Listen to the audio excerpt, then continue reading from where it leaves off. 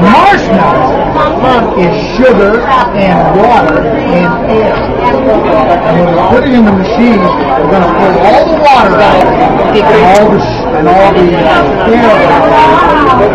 And we're going to put a little face on this guy. Watch this. They put a they put a marshmallow inside a vacuum chamber. Can you see that down there? Right, watch what happens when we suck all the air and all the water right out of it.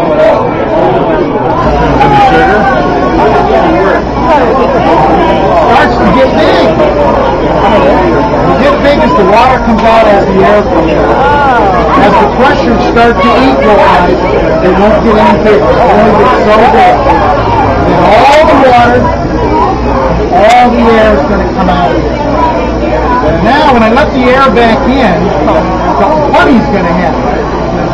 I took all the water out, all the air out.